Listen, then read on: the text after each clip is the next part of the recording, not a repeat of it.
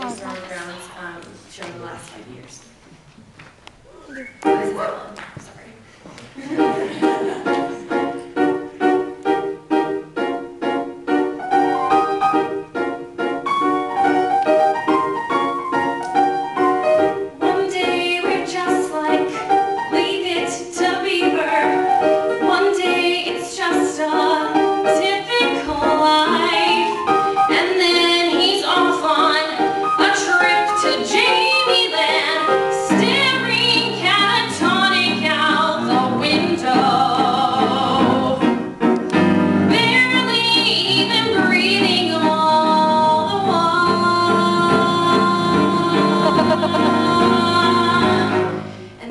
smile